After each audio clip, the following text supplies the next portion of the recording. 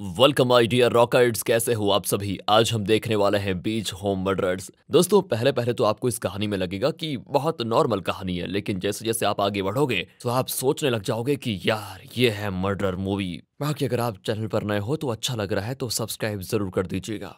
Movie की शुरुआत में हम एक मर्डर सीन को देखते हैं, जहाँ पर एक पुलिस ऑफिसर एक घर के अंदर आती है। पहले अंदर आते ही ऑफिसर को सब कुछ सही लगता है मतलब नॉर्मल पर अगले ही कमरे में ऑफिसर को सारा नाम की एक लड़की बेहोश दिखाई देती है। इसके सर पर गहरी चोट भी थी। वहाँ पर काफ़ी खून भी बह रखा था। चारों तरफ़ खून ही खून फैला हुआ था। और फिर ऑफिसर को वहीं से कुछ दूरी पर सारा का हस्बैंड माइल्स दिखाई देता है, जिसके हाथों पर खून लगा हुआ था। अब देखो, इसे देखकर तो कोई भी कह सकता है कि माइल्स ने यहाँ सारा को मारने की कोशिश की होगी। अब ऑफिसर मर्डर सीन की सभी बातें हेडक्वार्टर में बताती है और वहाँ से कुछ और ऑफिसर्स को आने के लिए कह देती है। इसके साथ ये सीन होता है यहाँ पर कट अब अगले सीन में हम एक साल के बाद का सीन देखते हैं, जहाँ हमें पता चलता है कि सारा ने माइल्स से डाइवोर्स ले लिया है और अब वो बिल्कुल अकेली रहती है।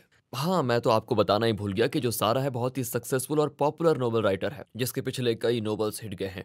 और इसी वजह से उसके ऊपर प्रेशर है कि वो नेक्स्ट नोवेल कुछ ऐसा लिखे जो मतलब पिछले वाले से ज़्यादा हिट हो, उससे ज़्यादा बिके। और खुद से इसी तरह के कॉम्पिटिशन के चलते वो अपने अगले नोवेल पर फोकस नहीं कर पा रही होती है। तभी वहाँ पर सारा की बेस्ट फ्रेंड और पब्लिशिंग एजेंट एलिस आती है। अब उसको अचानक से देखकर सारा तो डर जाती है और हाथ में अपनी सेफ्टी के लिए एक बैट ले लेती है। असल में उस इंसिडेंट के बाद सारा इतना ज़्यादा डर गई थी कि अब उसको जरा से भी कुछ भनक लगती है तो वो बहुत ज़्यादा डर जाती है और जल्दी से अपनी सेफ्टी के लिए कुछ उठा भी लेती है। एलिस सारा से मिलकर कहती है, एक बात बताओ, तुम कब तक ऐसे डर डर के जीती रहोगी? मेरे हिसाब से तुमको एक वेकेशन पर जाना चाहिए ताकि तुम्हारा माइंड फ्री हो जाए और तुम अगले नोवल पर अपने पूरा फोकस कर पाओ। सारा को भी ये बात बिल्कुल सही लगती है और एलिस उसे अपने बीच हाउस पर जाने के लिए कहती है, जहाँ पर वो अपना वेकेशन आराम से एंजॉय कर सकती है। अब अगले सीन में सारा एलिस के बीच हाउस पर आती है और वहाँ से बीच पर टहलने चली जाती है। अब वहाँ पर टहलते टहलते उसका एक आई कांटेक्ट एक लड़के से होता है और सारा उसकी तरफ़ अट्रैक्ट हो जाती है। पता नहीं उसकी आँखों में क्या था।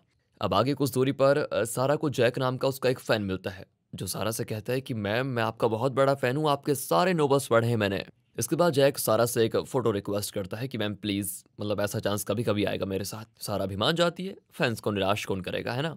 और फिर जैक सारा के साथ फ़ोटो लेकर वहाँ से चला जाता है। अब उसी शाम को जब सारा डिनर करने के लिए एक रेस्टोरेंट में आती है तो वहाँ पर उसको वही लड़का दिख जाता है जिसके साथ बीच पर उसका आई कांटेक्ट हुआ था। वो लड़का भी बिना चांस गवाए सारा के पास आ जाता है और खुद को इंट्रोड्यूस करता है। उसका नाम होता है टोनी। सारा तो पहले ही टोनी की तरफ़ अट्रैक्टेड थी और जब टोनी उसको डिनर के लिए पूछता है, सारा मना नहीं कर पाती। जिसके बाद दोनों साथ में अच्छे से डिनर करते हैं और उस दौरान सारा को टोनी की कंपनी पसंद आ रही होती है मतलब उसका साथ। टोनी सारा से पूछता है, तुम एलिस यहाँ पर वैकेशन के लिए इतनी दूर क्यों? कहीं और भी तो बहुत सारी जगह हैं वैसे। सारा इस बारे में टोनी से पूछती है, जिस पर टोनी जवाब देता है मैंने बस कैस किया, तुम्हारे नोबल्स पर वही पब्लिशिंग एड्रेस लिखा होता है ना इसीलिए। अब जब वो ये कहता है तो सारा को थोड़ा कन्विंसिंग लगता है और वो इस बात को मतलब भूल जाती है। अब आगे डिनर खत्म होने के बाद टोनी सारा को अपना नंबर भी देता है और कहता है कि तुम जब चाहो मुझे कॉल कर लो, मैं फ्री हूँ। सारा भी शर्माते हुए चली जाती। अगली सुबह सारा अपनी जॉगिंग खत्म करके कैफ़े में जाती है, जहाँ अचानक से माइल्स पहुँच जाता है। अब सारा उसको देखते ही एकदम से घबरा जाती है और उसे अपने से दूर रहने के लिए कह देती है। वो जब नहीं मानता तो सारा तब माइल्स को चिल्लाकर कहती है कि तुम मेरा एले से पीछा करते हुए यहाँ तक आ गए हो। आखिर तुम्हें चाहिए क्या? माइल्स भी हंस के कहता है, ये तो बस कोई है, मैं कल ही यहाँ पर आया हूँ। मुझे कोई आइडिया नहीं था कि तुम भी यहीं पर आने वाली हो सारा तब भी माइल्स की कोई बात नहीं सुनती और उसे वहाँ से चले जाने के लिए कह देती है, जिसके बाद माइल्स को फिर जाना ही पड़ता है और तब जाकर होती है सारा शांत। अब रात में सोते वक्त सारा अपने और माइल्स के उन झगड़ों को याद करने लग जाती है, जिसके तुरंत बाद वो इंसिडेंट हुआ था। दोस्तों कंफ्यूज तो नहीं हो रहे हो? वो इंसिडेंट मतलब जो स्टार्टिंग में हुआ था, जब माइल्स के हाथों पर खून लगा हुआ था, वो वाला, जब पुलिस ऑफिसर आई थी, वो वाला।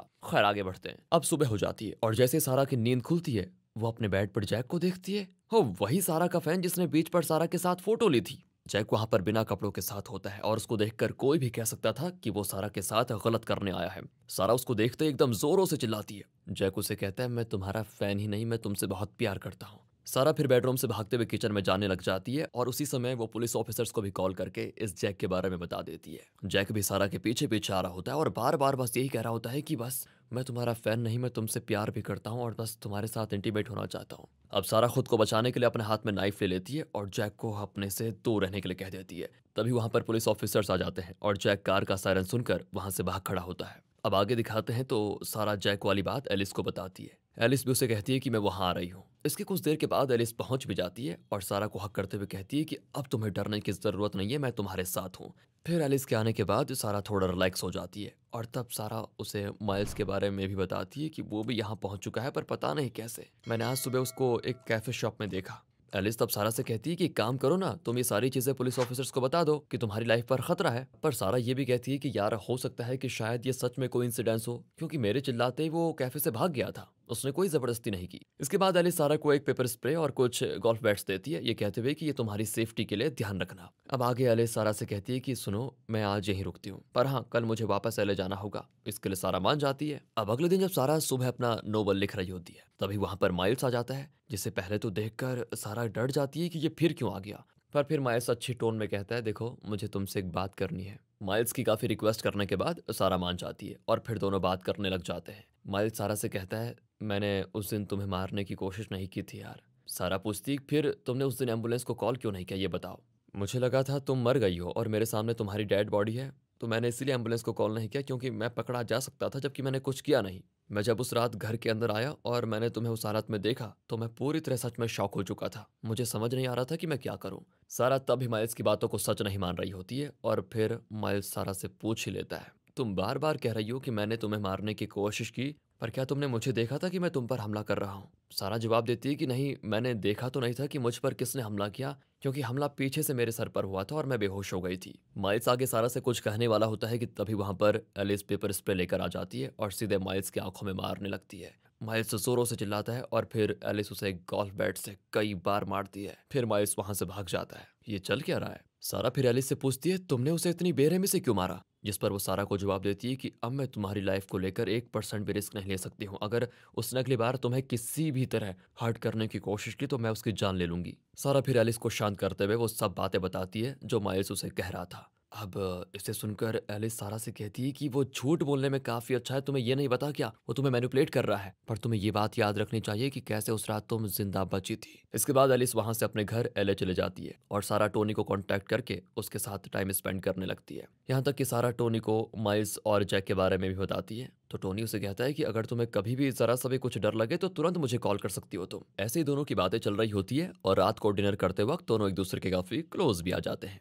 जहाँ दोनों एक दूसरे को पहले किस करते हैं and then after they get परम सुख। अब सुबह टोनी जाते हुए सारा से ये कहते हैं कि देखो, मैं मैं भी तुमसे प्यार करता हूँ। सारा भी जवाब देती है, मैं भी। टोनी वहाँ से जाने ही लगता है, पर आगे कुछ दूरी पर वो एक टूरिस्ट से बात करता है, जो कि जय की है। अब सारा ये देख लेती है और उस टूरिस्ट के वहाँ से जाने के बाद वो टोनी से पूछती कि तुम मुझसे क्या बात कर रहे थे? जवाब में टोनी कहता है कि अरे कुछ नहीं, वो मुझसे बस एड्रेस पूछ रहा था। मैंने उसको बता दिया। अब सारा टोनी को बताती है कि वो आदमी ही तो जैक था और कहीं तुम मुझसे मिले हुए तो नहीं हो।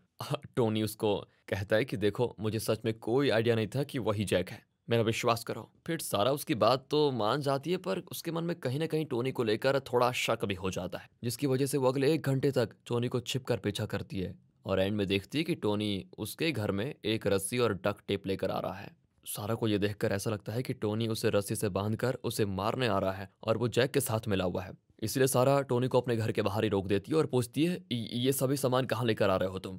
टोनी कहता है, मैंने तुम्हारे गार्डन में एक टूटा हुआ चेयर देखा, उसे ही ठीक करने के लिए लाया हूँ, जो सच बात भी थी, क्योंकि सारा के गार्डन की चेयर टूटी हुई थी और टोनी ने उसको देख भी लिया था। फिर भी अपने शक की वजह से सारा टोनी पर भरोसा नहीं कर पाती और उसे कहती है, तुम मुझे मारना चाहते हो ना? यहाँ से चले जाओ, वरना मैं पुलिस को कॉल कर दूँगी अभी। लेकिन टोनी सारा को समझाने की कोशिश करता है, यार, तुम क्या बातें कर रही हो? मैं ऐसा कुछ नहीं करने वाला। मैं तुमसे प्यार करता हूँ, पर सारा मानती नहीं। और टोनी को वहाँ से फिर उदास होकर जाना पड़ जाता है। आगे ये बात सारा एलिस को भी बताती है और एलिस उसे कहती है कि तुमने ओवर रिएक्ट किया है। बहुत ज़्यादा चांसेस है कि टोनी सच में तुम्हारी मदद करना चाहता था। तुम्हें उससे माफ़ी मांगनी चाहिए। अब इस बात पर गौर से सोचने के बाद सारा को समझ आ जाता है कि हाँ यार, टोनी सही था। मैंने उसके साथ गलत किया। मुझे उससे माफ़ी मांगनी चाहिए। पर वो ये करती, इससे पहले ही सारा के ऊपर एक और मुसीबत आ जाती है। उसका लैपटॉप कोई चुरा लेता है और तभी उसको एक अनो नंबर से कॉल आता है जो कि जैक का ही कॉल था। आगे हमें पता चलता है कि सारा का लैपटॉप जैक के पास है और वो उसके बदले सारा से एक लाख डॉलर्स की मांग कर रहा है। दैट्स ह्यूज इतने पैसे मांगने का रीजन था कि उस लैपटॉप में सारा ने नई नोबल की पूरी डॉक्यूमेंट लिखी थी जो कि वो पिछले एक साल से लिख रही थी। इसलिए वो डॉक्यूमेंट तो सारा के लिए बहुत ज़रूरी था। अब सारा ये बात पुलिस ऑफिसर्स को भी बताती है। पर वो सारा से कहते हैं कि बहुत मुश्किल है क्योंकि हम उसके कॉल को ट्रेस नहीं कर पा रहे इसलिए हम कुछ नहीं कर सकते। फिर सारा टोनी के पास जाती है और उससे अपनी गलती के लिए माफ़ी भी मांगती है। फिर उसको लैपटॉप वाली बात भी बताती है। उसके बाद टोनी और सारा मिलकर एक प्लान बनाते हैं। दोनों चेक के लिए नकली नोट्स बनाते हैं और जैक के बताए हुए लोकेशन पर वो नकली नोट्स लेकर जाते हैं। अब वहाँ पर जैक उन पैसों को तो ले लेता है, पर जल्द ही उसको भी पता चल जाता है कि ये पैसे नकली है। पर इससे पहले कि जैक कुछ करता, टोनी उस पर हमला कर देता है और उसे पकड़ने की कोशिश करता है। लेकिन जैक टोनी के पैर को इंजर्ड करके वहाँ से भाग जाता है। और इस तरह इन दोनों का प्लान काफ़ी बुरी तरह फेल हो जाता है। हालाँकि इससे एक चीज़ अच्छी हुई थी, सारा को लैपटॉप तो मिल जाता है। पर इससे होता यह है कि वो टोनी के और करीब आ जाती है, क्योंकि टोनी ने उसकी मदद की थी और उसके लिए बिना कुछ सोचे उसकी मदद करने को तैयार हो गया। इसके बाद दोनों साथ में रहने लग जाते हैं, पर जल्द ही ये खुशी दुख में बदल जाती है। जब अगली सुबह सारा की नींद खुलती है और वो टोनी को मरा हुआ अपने बेड पर देखती है। टोनी को किसी ने कई बार नाइफ से स्टैप करके मार दिया था और ये देखकर सारा पूरी तरह टूट जाती है। आगे पुलिस ऑफिसर्स आकर टोनी की डेड बॉडी को वहाँ से लेकर जाते हैं और सारा ये फैसला करती है कि कैसे भी करके अब टोनी के मर्डर को ढूंढ निकालूँगी। उसी शाम को सारा को जैक का कॉल आता है, जिससे उसे बहुत बड़ा सच पता चलता है। जैक सारा से कहता है कि मैं तुमसे बहुत पहले से प्यार करता हूँ